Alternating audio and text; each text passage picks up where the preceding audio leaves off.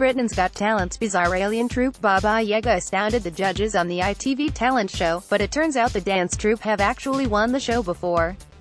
The group, who donned featureless masks before dancing to electronic music, won the contest just last year after competing in the Belgian version of the show, where they got a golden buzzer.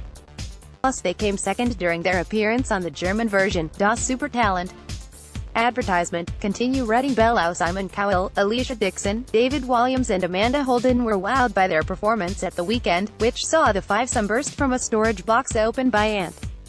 They received four yeses and will likely head into the semi-finals towards the end of May. Winners usually get to perform in front of the royal family at the Royal Variety Performance along with pocketing a £250,000 cash prize.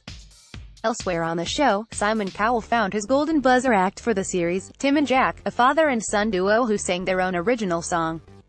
The buzzer means that they'll be guaranteed a place in the live shows later in the series.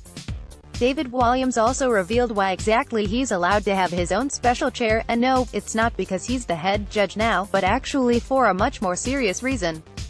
Britain's Got Talent airs on ITV, want up-to-the-minute entertainment news and features. Just hit like on our Digital Spy Facebook page and follow on our at Digital Spy Twitter account and you're all set.